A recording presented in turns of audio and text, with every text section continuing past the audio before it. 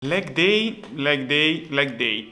Quell'allenamento che tutti i palestrati aspettano durante la settimana con ansia, con voglia, ma soprattutto con la paura di questo allenamento che solitamente è l'allenamento più bello, ma anche quello più faticoso e quello che mette più a dura prova sia il nostro fisico sia il nostro sistema nervoso in quanto è veramente veramente tassante se fatto nel modo giusto. Oggi siamo qui in un nuovo voiceover, in particolare il quarto episodio. Sono felice che questi tipi di video vi stiano piacendo perché comunque le visualizzazioni stanno andando bene, anche il numero di mi piace e i commenti e come sempre vi invito a lasciare un mi piace su questo video, commentare qua sotto con eh, i vostri esercizi, con il vostro leg day e se avete qualche comunque correzione aggiunta da farmi, sono ben lieto di ascoltarvi. Detto questo, oggi andremo ad analizzare quello che è il mio leg day attuale. Se mi seguite avete visto che nella prima sessione sessione di eh, pull, quindi di tirata, che vi lascio qui in alto a sinistra, eh, faccio una... Um, un richiamo soprattutto a livello della catena cinetica posteriore, quindi per quanto riguarda i femorali, che sono la mia parte un po' più carente. In questa parte invece sarà un leg day, diciamo, tradizionale, quindi il volume sarà equamente spartito tra quadricipiti e femorali. Vi ricordo le attrezzature che ho per allenarmi, ovvero una leg extension leg curl, un multi power, un bilanciere libero e purtroppo ancora non ho una pressa e né una, un hack squat, che dovrebbero arrivare, però ancora non li ho disponibili. Quindi non mi scrivete qua sotto nei commenti perché non fai questi esercizi, arriveranno e li metterò nella scheda ovviamente quando avrò la macchina, non essendo una palestra normale, quindi una palestra eh, a pagamento, non ho tutti gli attrezzi a disposizione, quindi cerco di adattare il mio allenamento a ciò che ho disponibile. Iniziamo ad analizzare subito il mio leg day. Allora, come potete vedere il mio leg day inizia alla leg extension, la leg extension che ho io è la Maxus ed è a carico libero, laterale, e faccio tre serie a carico crescente e ripetizioni decrescenti, quindi un piramidale inverso. E in questa macchina soprattutto cerco di controllare la fase eccentrica, che è quella che manca all'attrezzo non avendo il cavo, mentre la concentrica è una fase in cui il carico aumenta via via che alziamo il peso, quindi arriverà la massima eh, forza da imprimere quando il peso sarà alla massima altezza. La l'eccentrica invece la cerco di controllare io il più possibile comunque è un ottimo lavoro anche a livello di eh, ipertrofia, anche a livello di stimolo proprio a livello del muscolo e a livello di pump. Passiamo poi al primo esercizio al multipower che vedrete utilizzo abbastanza spesso e sono degli split bulgari al multipower. Perché al multipower? Perché con i manubri dovrei usare molto peso e sarei molto molto più instabile Mentre al multipower riesco a curare l'esecuzione, come potete vedere, andare a colpire eh, part- in particolare il muscolo quadricipite che in questo caso voglio andare a colpire. Come vedete è un multipower a passo abbastanza stretto, non è, abbast- non è a passo lungo, se no andrei a colpire più prettamente i glutei e un po' di femorali. Quindi in questa maniera riesco a isolare abbastanza bene il quadricipite. È un esercizio che è da due o tre mesetti che ho in scheda eh, mi sta dando le soddisfazioni e piano piano i carichi aumentano, anche se per mantenere un'esecuzione ottima i carichi aumentano molto molto piano. Passiamo poi a questa sorta di hack squat con i talloni uniti, che avreste, avrete già visto fare moltissime volte, famoso l'ha reso eh, Platz, Tom Platz, quindi anche il famoso Platz squat.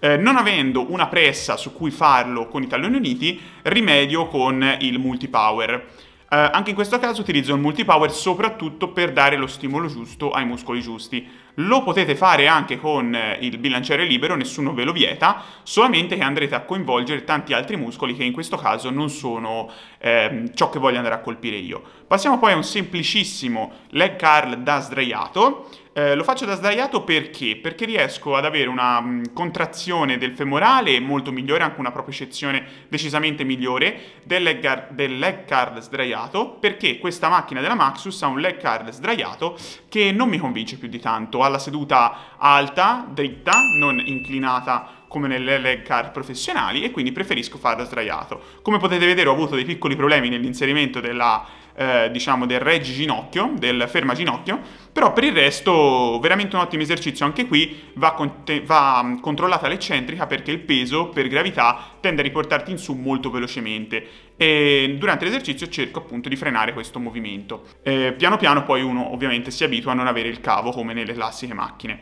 Passiamo poi a un classico eh, stacco rumeno, quindi gambe leggermente piegate, non è uno stacco a gambe tese, eh, cerco di andare in, dietro col culo e con l'anca, questo è il mio pensiero di avvicinare il, il, mio bacino verso il muro dietro e allungare il più possibile la catena cinetica posteriore.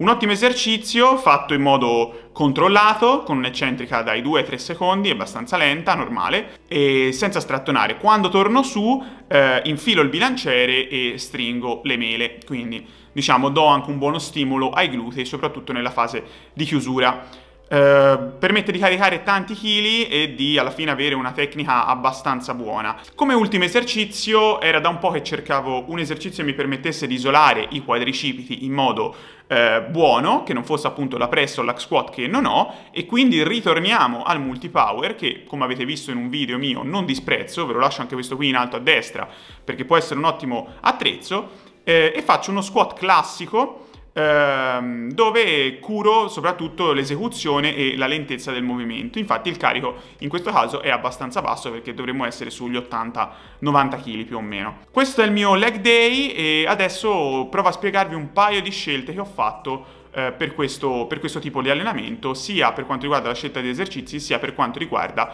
la scelta dei macchinari. Come avete visto dal video, il multipower è uno dei miei migliori amici nel mio leg day ad oggi. È un attrezzo che non usavo molto spesso quando andavo in palestra normale e avevo a disposizione tutti i macchinari che vi dicevo prima, che però adesso ho riscoperto la sua eh, importanza e la sua utilità. Potrebbe essere usato anche come pressa verticale, ma dovendo caricarci molto rischierei di romperlo o di mh, mm, comunque maltrattarlo maltrattarlo e quindi preferisco usarlo per questi esercizi.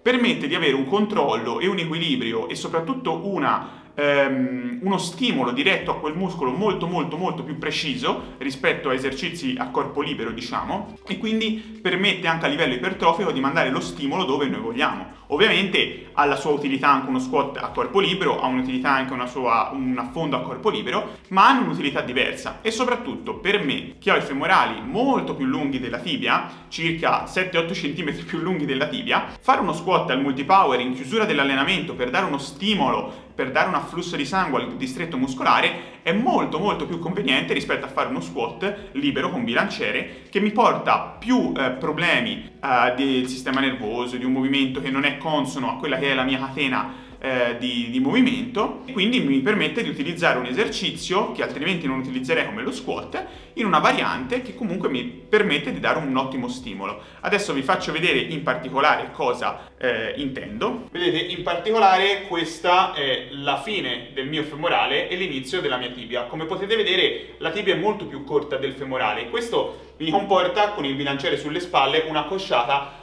molto sbilanciata in avanti. Un conto è fare uno squat senza peso, un conto è farlo con 130-140 kg. Mi comporta una cosciata molto più difficoltosa, molto più a rischio infortuni e soprattutto molto meno focalizzata su quello che è il coinvolgimento del quadricipite. Per questo ho tolto lo squat dalla mia programmazione perché comunque andava a colpire una parte e un settore che in questo momento non mi serve e soprattutto mi metteva a rischio infortuni e soprattutto mi consumava le energie del sistema nervoso che possono essere spese in un altro modo. Quando arriverà la pressa e quando arriverà l'hack squat, allora a quel punto verrà sostituito con questi esercizi che mi tornano molto molto meglio per quella che è la mia conformazione corporea. Quindi ecco spiegato perché non c'è uno squat nel mio leg day. Non è niente di particolare, ecco. Detto questo, direi che anche questo voiceover è giunto alla sua conclusione. Spero che questo video, anche un po' più dettagliato su quelle che sono le mie scelte, vi sia eh, piaciuto. Se avete qualcosa da dirmi, consigliarmi, scrivetemelo qua sotto nei commenti, mettete un mi piace a questo video e iscrivetevi a questo benedetto canale, perché l'85% di voi non si iscrive. Fino a che non vi iscrivete tutti io continuerò a dirvelo, quindi se non volete che vi rompa i coglioni o vi disiscrivete oppure vi iscrivete al canale. È molto semplice, è gratis e a me dà una grossa mano. Detto questo, come sempre vi ringrazio per la visione e noi ci vediamo in un prossimo video sul canale.